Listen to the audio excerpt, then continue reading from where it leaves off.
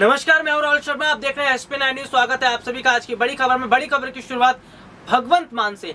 भगवंत मान जो पंजाब के नए मुख्यमंत्री हैं, उनके नए मुख्यमंत्री बनने पर उनकी पत्नी का बड़ा खुलासा हुआ है। क्या कुछ कहा है उनकी पत्नी ने अपने पति भगवंत मान के मुख्यमंत्री बनने पर? इस रिपोर्ट में हम आपको दिखाएँगे, लेकिन भगवंत मान मुख्यमंत्री बनने के बाद बेहद खुश दिखते नज़र आ रहे भगवंत मान काफ़ी समय से चर्चाओं में भी थे, और ये माना जा रहा है कि भगवंत मान ने मुख्यमंत्री पद जो है, उस पर काबिज होते ही जो है, फैसला कर लिया है कि वो आम आदमी पार्टी को ज़्यादा से ज़्यादा विस्तार देंगे। जो पार्टियाँ काम नहीं कर पाई पंजाब की पंजाब की जनता के लिए, वो काम आम आदमी का पार्टी करेगी, वो काम भगवंत मान करेंगे। भगवंत मान की पत्नी ने क्या कुछ कहा है मान को लेकर, ये ध्यान से सुनेगा लेकिन सबसे बड़ी बात है कि भगवंत मान की जो पत्नी है, वो और भगवंत मान काफ़ी समय पहले ही दोनों एक दूसरे से अलग हो गए थे और दोनों एक दूसरे से बातचीत तक नहीं करते थे। वजह यह थी कि पंजाब और फैमिली में से किसी एक को भगवंत मान को चुनना था और भगवंत मान ने अपनी फैमिली को न चुनकर पंजाब को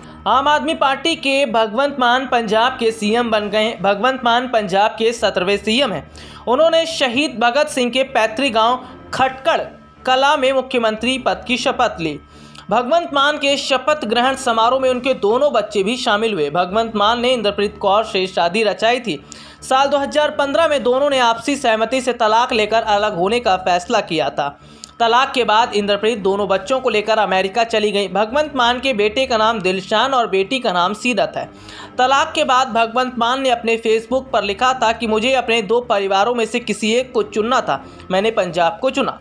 भगवंत मान की पत्नी इंद्रप्रीत कौर ने इंडियन एक्सप्रेस से बातचीत की है। उन्होंने तलाक के बाद भी हमेशा भगवंत मान के लिए दुआएँ मांगी और आगे भी मांगती रहेंगी।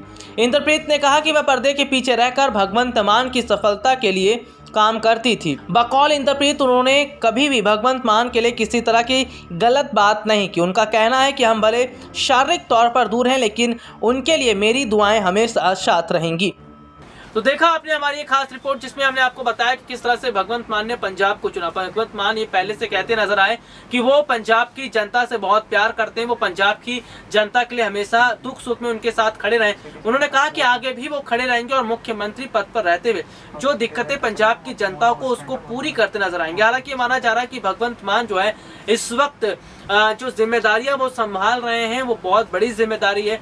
जो कई अगर कांग्रेस की बात करें तो कैप्टन जब पद पर बने हुए थे तो वो पंजाब की जनता के लिए उतना काम नहीं कर पाए, उस हद तक काम नहीं कर पाए। लेकिन अब ये माना जा रहा है कि जिस तरह से वो काम कर रहे हैं वो जिस तरह से जिम्मेदारियों को संभालने की बात कर रहे हैं, जिस तरह से वो काम करते नज़र आएँगे, इसका मतलब है कि भगवंत मान शायद पाँच साल में वो विकास करेंगे, पंजाब का जो अन्य सरकारें नहीं कर पाए।